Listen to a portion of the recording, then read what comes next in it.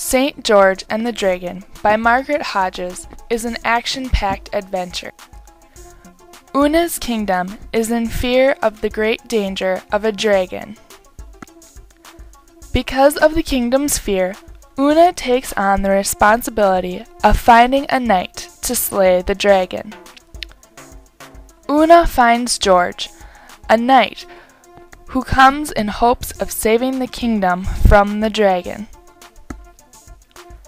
Is George the Knight able to save Una's kingdom? Find out by reading St. George and the Dragon.